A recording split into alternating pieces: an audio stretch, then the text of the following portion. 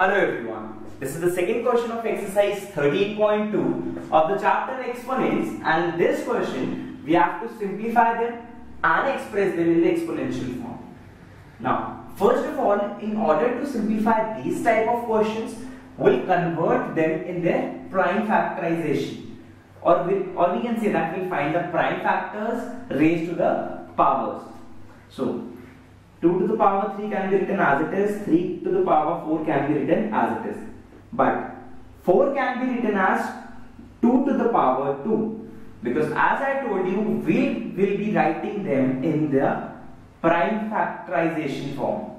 Then 3 will be as it is, then we'll do the prime factors of 32 and then we'll write it. You can solve it or I can directly write it 2 to the power 5. Now, in the numerator, these two are having the same base. So their power will get add up. That will give us 2 to the power 5 multiplied with 3 to the power 4 upon 3 into 2 to the power 5. Now, these two are the same terms. They can be cancelled out. Now, 3 to the power 4 upon 3 to the power 1.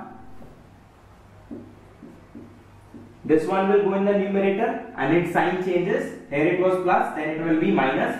So our answer will be 3 to the power 3. Or we can say that our answer will be 27. But as the question said that we have to express them in exponential form, so our answer will be 3 to the power 3.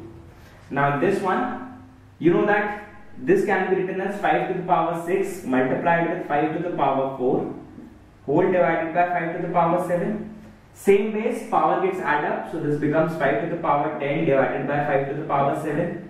Now we can write this like 5 to the power 10 upon 5 to the power 7. This will go in the numerator, its sign changes, so it will be 5 to the power 10 minus 7 or we can say that it will be 5 to the power 3. So this will be the answer. Now this can be written as, I told you that we have to write them in their exponential form, but with the prime factorization form also. So we can write this like 5 to the power 2 whole to the power 4. This means the same. You see 5 to the power 2 is 25 and whole to the power 4 and here also it was 25 whole to the power 4 divided by 5 to the power 3. Now this can be written as 5 to the power 8 4 into 2 divided by 5 to the power 3. So it will be 5 to the power 8 upon 5 to the power 3 this term will go in the numerator, it will change its sign. So it will be 5 to the power 8 minus 3 and that will be 5 to the power 5. So this is the answer.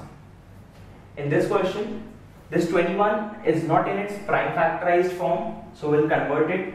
So we can write this like 3 into 7 to the power 2 into 11 to the power 8 upon 3 into 7 into 11 to the power 3.